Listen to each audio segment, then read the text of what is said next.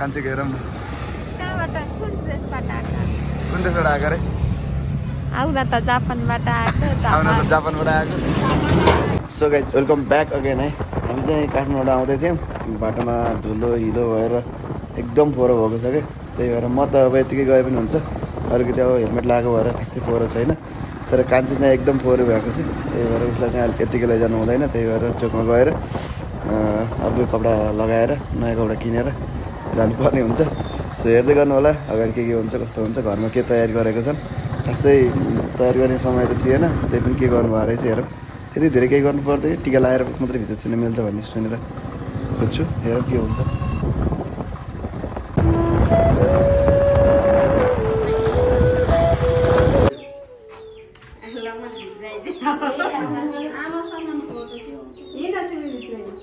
Subscribe now. And press the bell icon. Never miss an update.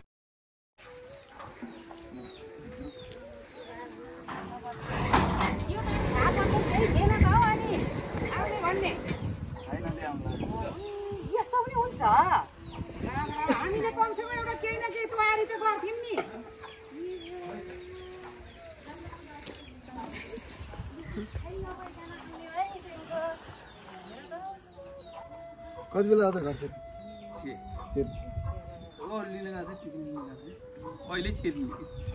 ढिलो।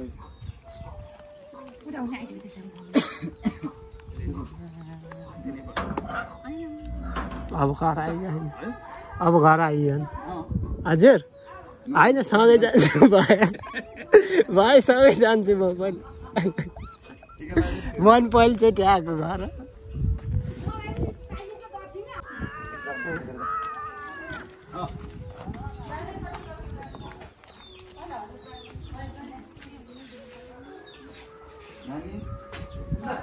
Tonsil भएर सरस्वती छ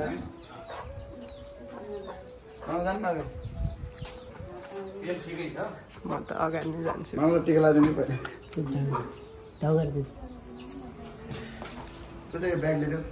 मलाई ठिक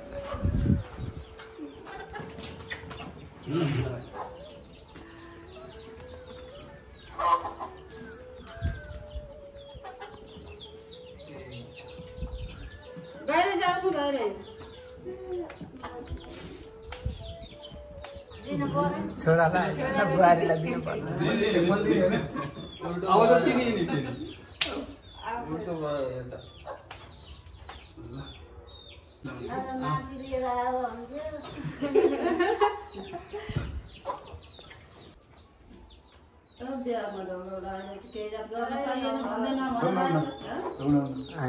त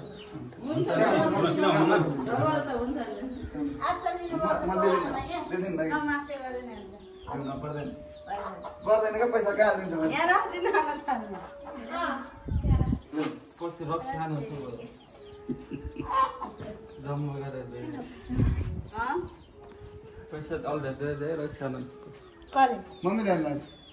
मम्मी नलाइदिने अरे नलाउने भएर त नलाउने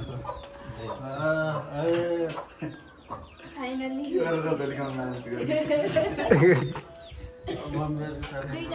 गरेर दुईटा हातले कि एउटा हातले हो? दुइटा हात ल्याऊ।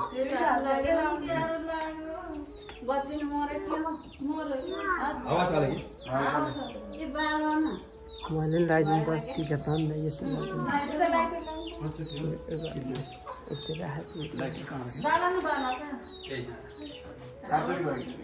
यो यो सामान यो मलाई त्यो त्यो त्यो त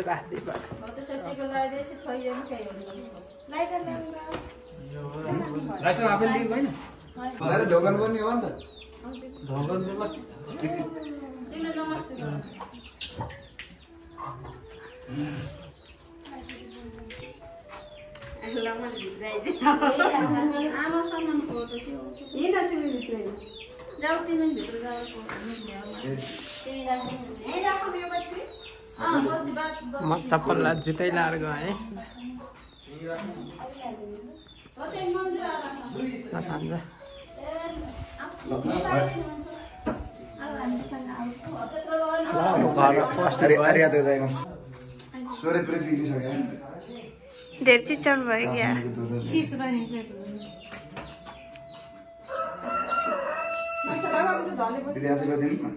मन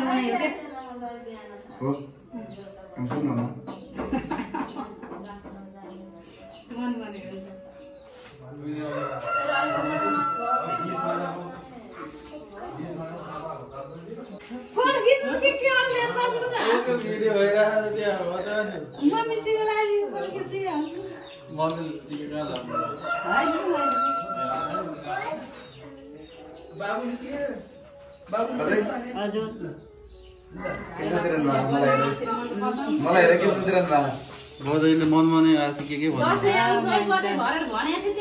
भन्नु नाति लिएर आवा भन्थ्यो भने। ए। सब देउ देउताले रक्षा गरौँ पाइयो मन मन कति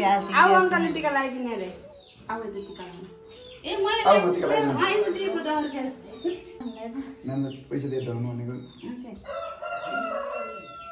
अन्त नमस्ते गरेर ए, पैसा त कति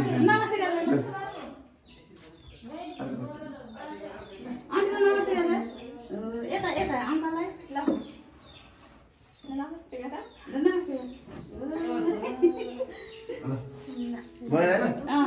अब भयो पूजालाई पूजालाई आउनु पूजालाई ल पूजा। के आशीर्वाद के दिने अरे?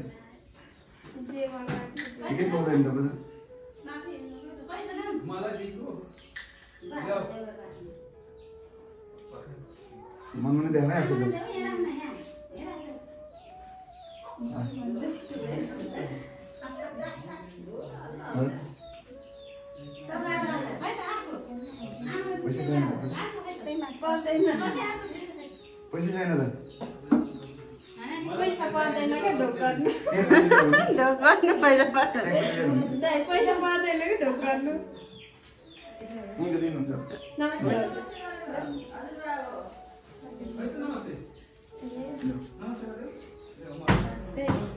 नमस्ते मलाई हालिदिएको जाम अगाडि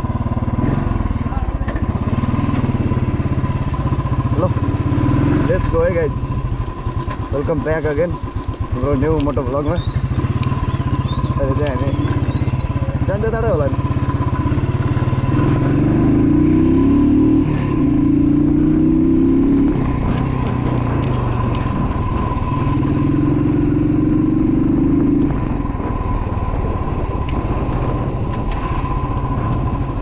पुरै helmet नदेखाइदिएर diamond higher secondary school so guys अहिले चाहिँ हामी तालचोक हाम्रो नजिकैको चोकमा जाँदैछौँ यहाँबाट दुई मिनट जति लाग्छ चोक जानलाई अनि पुरै पानी परिरहेको र हिजो रातिदेखि पानी परिरहेको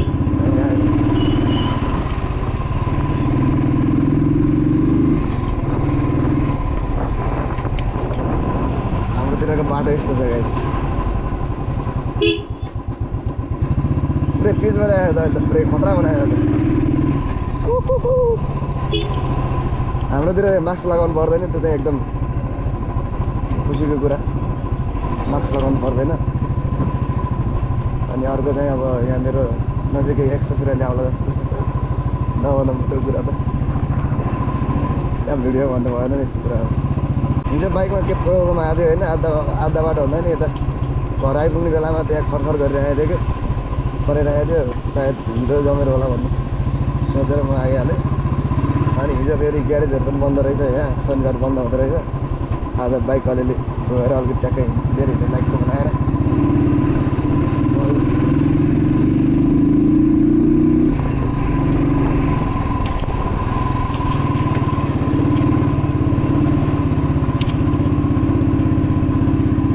एक गलत खान्छ एक गलत दुई गलत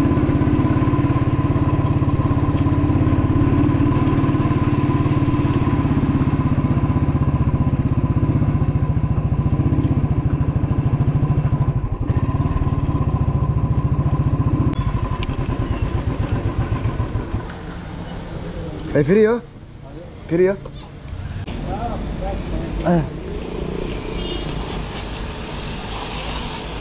हिजो आउँदा के को आवाज आएको थियो त्यो पनि हेरिदेऊ ल एकदम तलाएर हेर ल हिजो के को आवाज आएको थियो क्या दाइलाई भन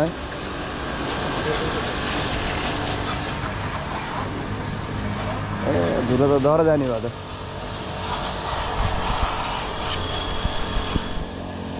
तलगार हिँड्नु पऱ्यो यार पोखरामा अब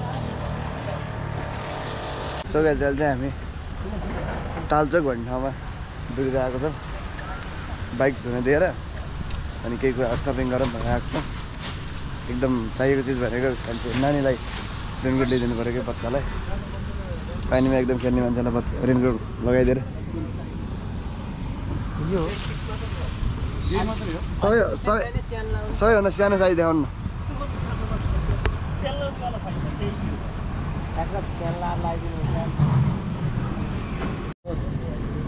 बाइकै अर्को देखियो त। दाजु कति भयो? के कसो भयो?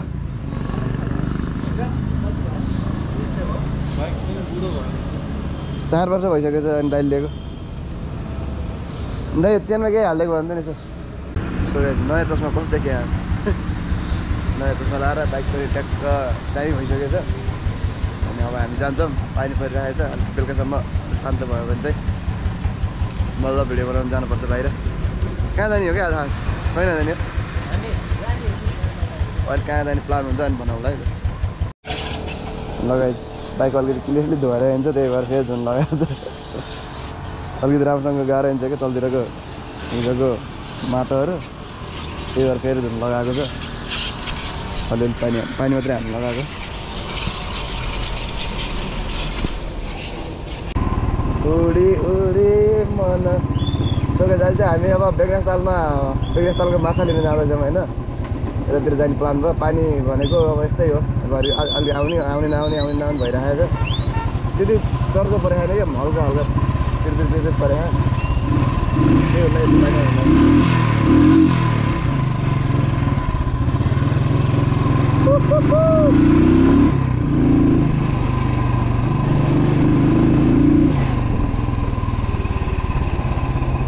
अलि अगाडि अगाडि अगाडि गयो यहाँ गेट होला यो गेटबाट भित्र लगाइ अहिले चाहिँ हामी बेकास तालको वरिपरि आइपुग्यो है बेकास ताल नजिकै हो तर हामी तालतिर गइँदैन होला है तर यतातिर माछा पाउने ठाउँ छ त्यहाँबाट माछा लिएर जान्छ अन्त बाबाले बाबाको हातले बनाएको माछा special with double black level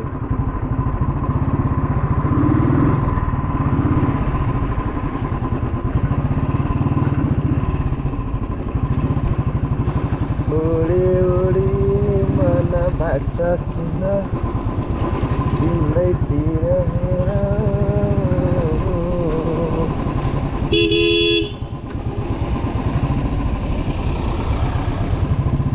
के हो र अहिले पुरै पानी पर्यो यतातिर कता हो अरे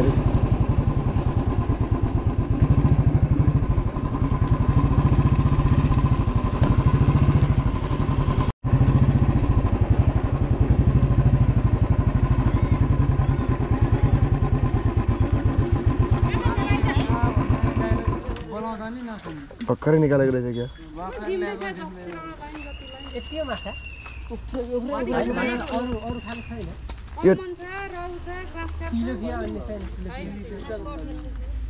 रौ लैजाउँ न त रौ। ल रौ। एक किलो जति भयो हुन्छ भाइ। सकिसक्यो क्या ढिलो भयो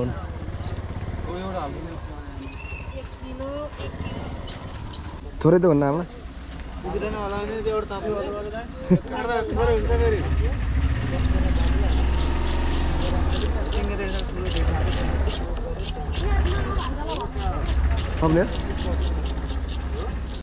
माछा चलिरहेको त यार। जिउँदै रहेछ त माछा केही गर्दैन त सोही पनि। डर लाउँदैन माछासँग त टोक्द टोक्दैन माछाले। माछा त टोक्छ अँ। तर यिनीहरूले टोक्दैन। टोक्ने माछा नै हुन्छ गङ्गाटन पाइन्छ होला नि यार खाँदै गङ्गाटन पाइन्छ होला नि। पाइँदैन? यहाँ मिठो त गङ्गाटा हुन्छ होला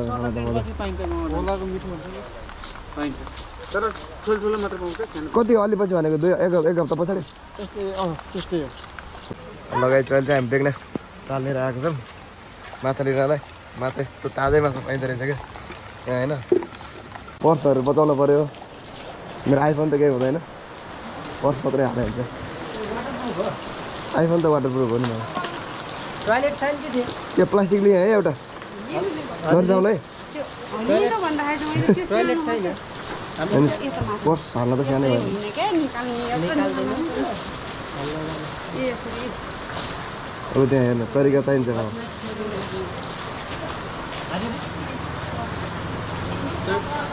के हो र रुच दिने पुरै हेलमेट लाउनु